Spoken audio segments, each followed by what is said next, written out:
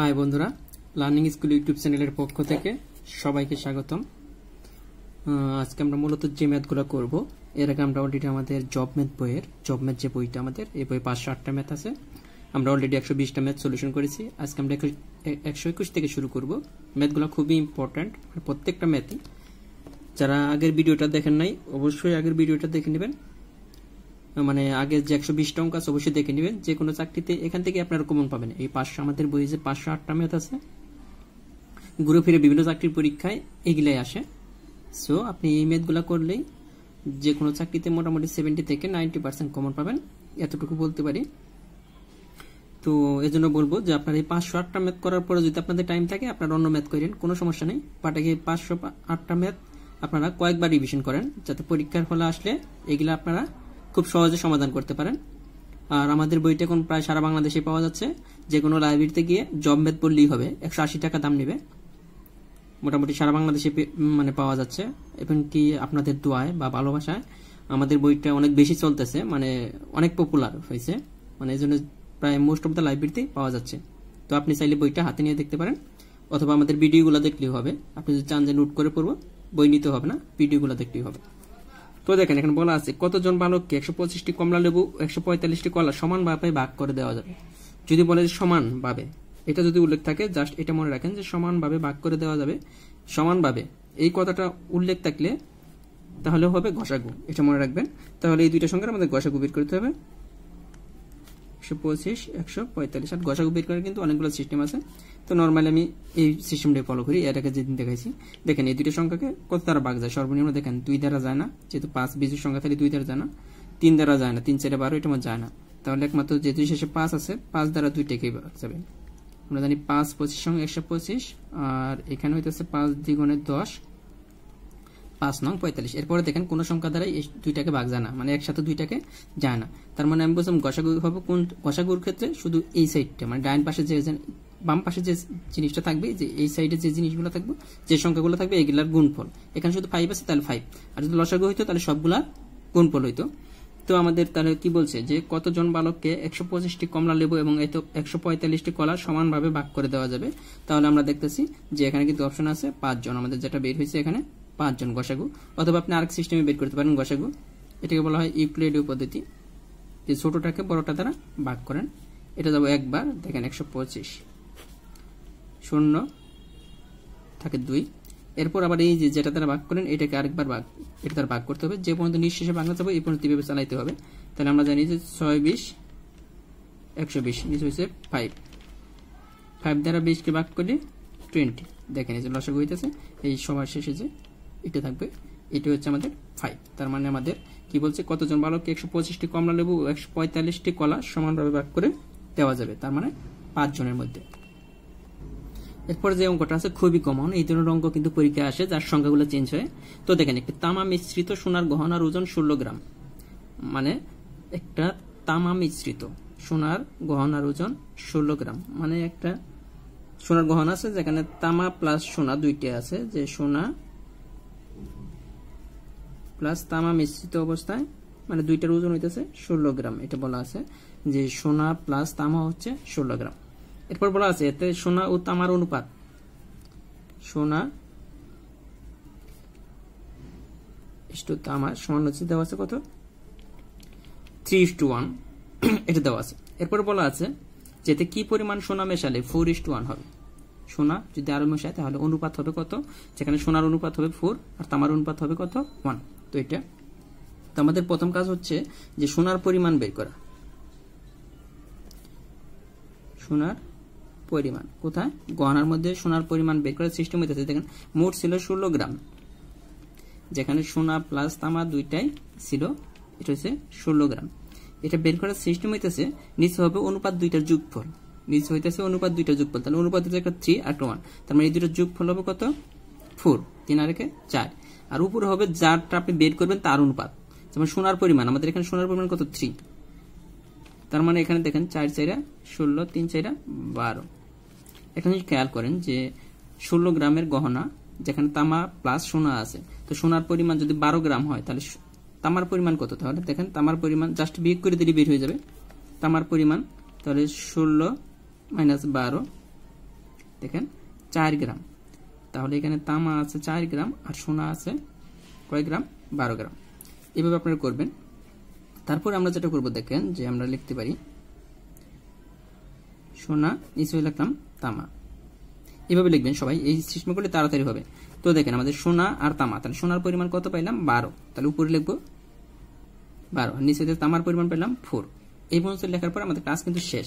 এরপর বলছে এতে, দেখেন, এতে কি পরিমাণ সোনা মেশালে? তো এখানে তামা কিন্তু মেশাবে না তামার পরিমাণ যা আছে তাই থাকবে। শুধু বলছে যে তামার পরিমাণ দেখেন, এখানে ওয়ান ছিল, এখানেও কি আছে? ওয়ান আছে। শুধু সোনার পরিমাণ চেঞ্জ হয়েছে। তো কি পরিমাণ সোনা মেশালে? আমরা জানি না কি পরিমাণ সোনা মেশাতে হবে। সাপোজ এই যে সোনার সাথে এখানে আমরা এক্স সাপোজ এতে আরও এক্স পরিমাণ কি মিশালাম? সোনা মেশালাম। এতে অনুপাত হয়ে গেল কত? সোনার পরিমাণ ফোর তামার পরিমাণ ওয়ান তার মানে উপরে ফোর নিচে হইতেছে ওয়ান মানে প্রত্যেকটা অঙ্ক আমরা এই নিয়মে করব। এটা কিন্তু রিটেন রিটেনও করা যাবে, এই জন্য আমি এই নিয়মে করতেছি। যেহেতু রিটেনের জন্য আসে অঙ্কটা, তাহলে টুয়েলভ প্লাস এক্স সমান ষোলো। এখান থেকে আমাদের এক্সের মানটা বের করতে হবে। দেখেন এক্স ইকুয়াল ষোলো মাইনাস বারো সমান ফোর তাতে এতে ফোর মানে ফোর গ্রাম যদি আমরা কি মিশ্রণ করি, এই যাতে ফোর গ্রাম যদি আমরা সোনা মিশ্রণ করি, তাহলে অনুপাত হয়ে যাবে এটা তো প্রসেসটা হয়তো বুঝছেন যে আমাদের জাস্ট সোনা প্লাস তামা দেওয়া আছে, একটা গহনা আছে, যেখানে সোনা প্লাস তামা দুইটাই আছে। তো সোনা ইস্টু তামা থ্রি ইস্টু ফোর দেওয়া আছে। তো সোনার পরিমাণ ষোলো ইন্টু থ্রি বাই ফোর কারণ এটা হচ্ছে মোট অনুপাতের যোগফল, আর উপরে যার মানটা চাই বের করতেছি, যারটা বের করব তারটা হবে থ্রি এখানে আমরা যদি তামার পরিমাণ বের করতাম, তাও কিন্তু বের করে নিতে হবে তাহলে এখানে ওয়ান হইতো। তো তারপরে তামার পরিমাণ আমরা বিয়োগ করে বের করছি, আমরা এইভাবেও নিতে পারতাম। তো সোনা বাই তাম আমরা লিখছি, তাহলে সোনার পরিমাণ ছিল বারো, তামার পরিমাণ চার। আমাদের বলছে কি পরিমাণ সোনা মেশালে, আমরা জানি না এক্স পরিমাণ সোনা মেশাবো ইকুয়াল কত ফোর বাই ওয়ান হবে। বারো প্লাস এক্স সমান ষোলো। তো এইভাবে বের হয়ে আসবে। আমাদের বইয়ে কিন্তু শর্টকাট নিয়ম দেওয়া আছে। আপনি চাইলে এটা দেখতে পারেন। আপনি চাইলে বইয়ের শর্টকাট নিয়মটা মনে রাখতে পারেন। খুব সহজ। যে দ্বিতীয় অনুপাতের প্রথম মান, প্রথম অনুপাতের প্রথম মান, প্রথম অনুপাতের যোগফল, এটি মোট সংখ্যা। জাস্ট এটাও মনে রাখলে আপনি অ্যান্সারটা চলে আসবে। এত কিছু করতে হবে না। তারপরে যেটা আছে, আমরা এটা করব। একই অঙ্ক, এই জন্য আমি একই নিয়মে করব। আগের অঙ্কটার মতোই হুবু সেম আমরা আগের নিয়মে করব। দেখেন এখানে বলা আছে ষাট লিটার কেরোসিন ও পেট্রোলের মিশ্রণের অনুপাত মানে একটা মিশ্রণ যেখানে ষাট লিটার আছে টোটাল এখানে কেরোসিন আছে প্লাস পেট্রোল আছে। তাদের অনুপাত হইতেছে কত? সেভেন ইস টু থ্রি তাহলে আমরা বলি, এখানে তো দুইটাই আছে, তাহলে আমরা যদি কেরোসিনের পরিমাণ বের করি, দেখেন। কেরোসিনের পরিমাণটা নির্ণয় করে ফেলি, আগের মতোই। তাহলে ষাট লিটার, তাহলে ষাট ইন্টু অনুপাতের যোগফল হবে দুইটার যোগফল টেন কার পরিমাণ বের করতেছে কেরোসিন কেরোসিন আছে কত? সেভেন পরিমাণটা উপরে হবে, যার যার পরিমাণ। এখানে ছয় ছয় সাতটা, বিয়াল্লিশ। তাহলে আমরা যদি বলি যে পেট্রোলের পরিমাণ পরিমাণ হবে কত? টোটাল ষাট ষাট থেকে আমরা কেরোসিনের পরিমাণটা যদি বিয়োগ করে দিই, তাহলে এটা পেলাম পেট্রোলের পরিমাণ। তাহলে আমরা লিখব যে কেরোসিন আগের মতোই নিচে লিখব কত? দেখেন, পেট্রোল। এখন দেখেন কেরোসিন, কেরোসিনের পরিমাণ আমাদের কত? বিয়াল্লিশ। লিখে ফেললাম। নিচে পেট্রোলের পরিমাণ আঠারো। এখন আমাদের কি মিশাইতে বলছে, ওইটার সাথে এক যোগ করতে হবে, আগের মতোই। ওই মিশ্রণে আর কত লিটার পেট্রোল মিশালে? কত লিটার পেট্রোল মিশালে থ্রি টু সেভেন হবে। দেখেন, পেট্রোল মেশাতে বলছে, তাহলে পেট্রোল নিচেটা এটার সাথে এক যোগ করে দিলাম। তাহলে অনুপাত হইতেছে কত? থ্রি টু সেভেন তার মানে কি? কেরোসিনের পরিমাণ থ্রি পেট্রোলের পরিমাণ সেভেন কেরোসিনটা আগে ছিল কেরোসিনটা আগে। তো কেরোসিনের পরিমাণ কোথায় থাকবে? উপরে। থ্রি পেট্রোলের পরিমাণ সেভেন এখন আসেন আগের মতোই কাটাকাটি করি আমরা। এখানে দেখেন, তিন আঠারো, কত? চুয়ান্ন। যোগ থ্রি এক্স আর এদিকে সাত দ্বিগুণ চোদ্দ চার হাতে থাকে এক, চার সাতটা আঠাশ, আর একে উনত্রিশ। তার মানে আমরা বলতে পারি যে থ্রি এক্স সমান দুশো চুরানব্বই সরি এখানে মাইনাস হবে, চুয়ান্ন। তার মানে আমরা যদি বিয়োগ করি, দেখেন শূন্য, চার, দুই। তাহলে আমাদের বের করতে হবে কার মান? এক্সের মান। তাহলে দেখেন এক্স ইকুয়াল থ্রি দ্বারা ভাগ হয়ে যাবে। থ্রি তিন আটা চব্বিশ।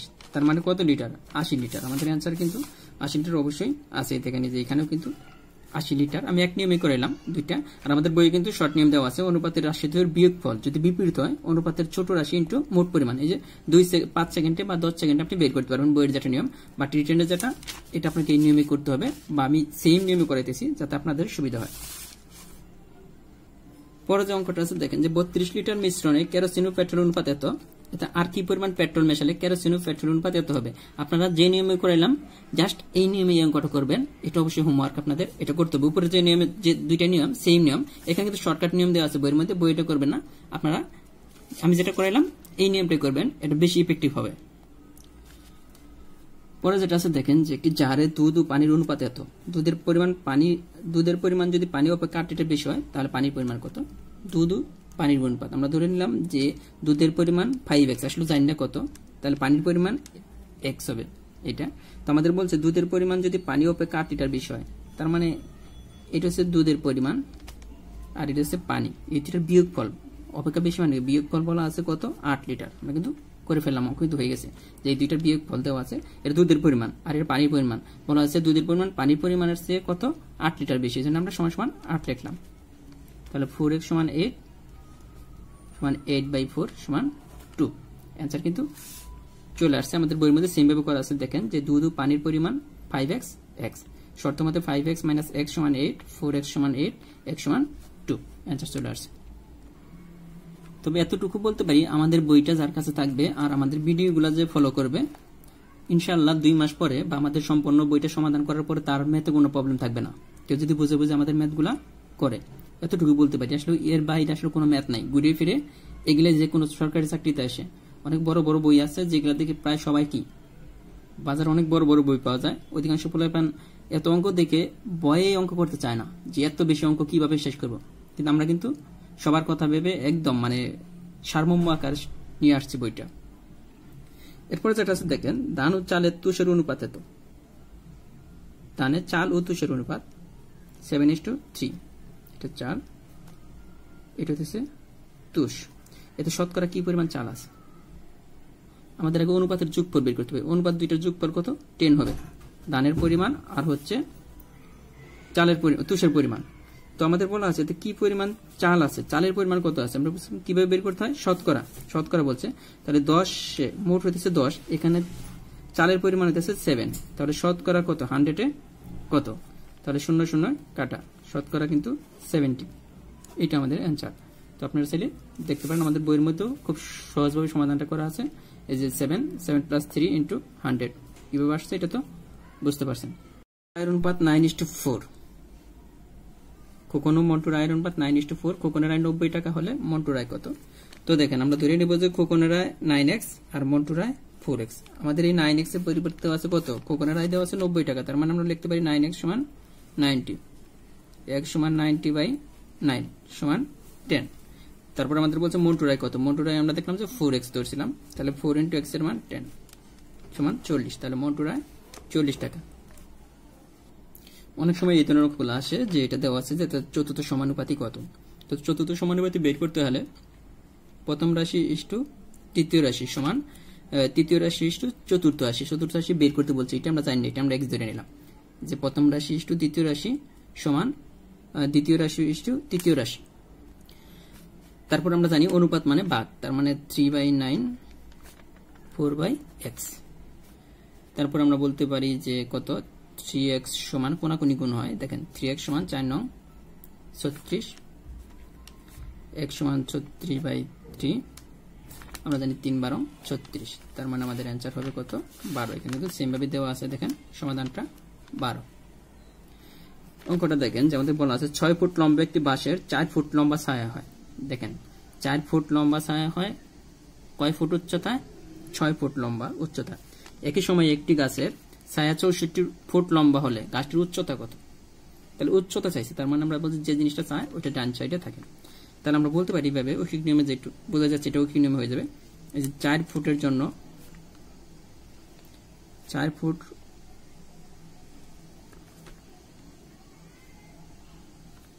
চার ফুট ছায়ার জন্য প্রয়োজন, চার ফিট ছায়ার জন্য প্রয়োজন কত? ছয় ফুট লম্বা। উচ্চতা হবে কত? ছয় ফুট। দেখেন, চার ফুট ছায়ার জন্য উচ্চতা প্রয়োজন ছয় ফুট। তাহলে আমরা বলতে পারি না, এক ফুট ছায়ার জন্য অবশ্যই কম হবে। তাহলে চার বাই ছয়। তারপর আমাদের বলছে যে চৌষট্টি ফুট লম্বা ছায়ার দরকার। তাহলে চৌষট্টি ফুট ছায়ার জন্য উচ্চতার প্রয়োজন অবশ্যই বেশি লাগবে। চৌষট্টি নিচে হচ্ছে ফোর কাটাকাটি করলে চার ষোলো চৌষট্টি। ছয় ছয় ছত্রিশ। নাইন তার মানে ছিয়ানব্বই ফুট লম্বা। এটা ঠিক নিয়মে কিন্তু রিটেনেও করতে পারবেন। পিলির জন্য এটা মনে হয় ক্লাস ফাইভ না সিক্স এর একটা অঙ্ক। এরপরে দেখেন, আমাদের বলছে নয় এবং ষোলো এর মধ্য সমানুপাতিক কথা। মধ্য সমানুপাতি বের করার সমানুপাতি বের করার সিস্টেম হইতেছে রুট দিয়া যে দুইটা সংখ্যার মধ্য সমানুপাতি বের করতে হবে, ওই দুইটা সংখ্যা গুণ করে দিলে হবে। দেখেন ষোলো। আমরা জানি নাইনকে রুট করলে থ্রি। আর ষোলোকে রুট করলে ফোর সমান বারো অ্যান্সার এটা তার মানে আমি কি বললাম? মধ্য সমানুপাতি বের করতে হলে যে দুইটা সংখ্যার মধ্য সমানুপাতি বের করতে হবে রুটের মানে রুট ওভার দিয়ে ওই দুইটা সংখ্যার গুণফল লিখে রুট করলে হয়ে যাবে। এরপরে যেটা আছে, দেখেন যে টিপুর বোনের বয়স, টিপুর বয়স এর ও তার বাবার বয়সের মধ্য সমানুপাতি টিপুর বয়স বারো, বাবার বয়স আটচল্লিশ হলে। বোনের বয়স কত? তো মধ্য সমানুপাতি যেহেতু বলছে, মধ্য সমানুপাতি বের করলে আমি কি বলছিলাম? মধ্য সমানুপাতি বের করতে হলে রুট ওভার দিয়ে, এই যেটা টিপুর বয়স, এটা তার বাবার বয়স, আর তার বোনের বয়স, এই দুইটা মধ্য সমানুপাতি। তার মানে বারো ইন্টু আটচল্লিশ। তার মানে আমরা লিখতে পারি না, বারো ইন্টু টু ইন্টু চব্বিশ মানে আটচল্লিশকে ব্যাঙ্গে লিখতে পারি। এটা, তার মানে এইভাবে লিখতে পারি যে twenty four into twenty four তার মানে টোয়েন্টি ফোর স্কোয়ার এটা স্কোয়ার আর রুটে কাটা যায়, আমরা জানি। তার মানে টোয়েন্টি ফোর এখানে অ্যান্সার কিন্তু টোয়েন্টি ফোর আমাদের বই কিন্তু প্রত্যেকটা অঙ্কই সমাধান করে দেওয়া আছে। এই যে আপনারা নিবন্ধন বলেন প্রাইমারি বলেন বা অন্যান্য যে কোনো সরকারি চাকরির জন্য আমাদের এই বইয়ের পাঁচশো আটটা ম্যাথ করেন আর প্র্যাকটিস সেটগুলো যদি করতে পারেন, তাহলে মোটামুটি আনাপ সো দেখেন যে প্র্যাকটিস সেটগুলো করবেন, তো আমাদের এই নিয়মের সাথে একশো পঁয়ত্রিশ করবেন, একশো ছিয়ানব্বই, দুইশো আশি, চারশো তিন, সাতশো একষট্টি, আটশো পঁচিশ, নয়শো বিশ, নয়শো চৌষট্টি আর বারোশো আশি। আর আমাদের বইটা কিন্তু এখন মোটামুটি সারা বাংলাদেশে পাওয়া যাচ্ছে। আর কোন কোন জায়গায় পাওয়া যাচ্ছে একদম লাইব্রেরি নাম সহ মোবাইল নম্বর সহ প্রথম কমেন্টে দেওয়া আছে। আপনারা ওইখানে দেখে নিতে পারেন। আর নিবন্ধন বলেন প্রাইমারি বলেন, বা অন্যান্য সেকেন্ড ক্লাস থার্ড ক্লাস সকল চাকরিতে মোটামুটি আপনি সেভেন্টি থেকে নাইনটি পার্সেন্ট কমন পাবেন এখান থেকে। তো ধন্যবাদ সবাইকে। আল্লাহ হাফিজ।